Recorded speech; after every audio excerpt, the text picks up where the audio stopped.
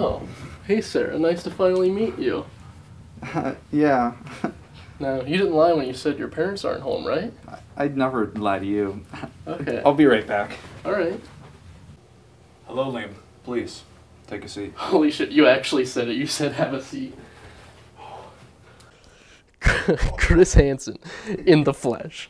I mean, I'm a big fan of yours. Your early 9 11 coverage, Dateline, To Catch a Predator, of course. Do you know how many underage girls I had to message to get to you? A shockingly large amount.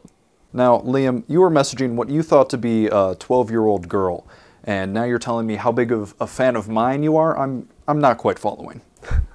Look, Chris, I've only been doing it to meet you. Now, it says right here um, that your first message to this girl was, Hello, sexy underage girl. Would you like to explain that? I knew if I was gonna get to you, I'd have to go hard in the paint. I also explicitly said I will bring condoms, and they will be in my car.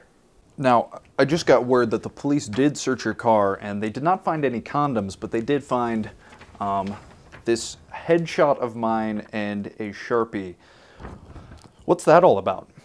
It would mean the world to me if you signed that headshot. But don't use my username, aliens versus me. Please use my real name, Liam. In my 40 years of journalism, I've never had an experience quite this weird, and I've confronted over 200 pedophiles. That is the best thing you could have ever said to me.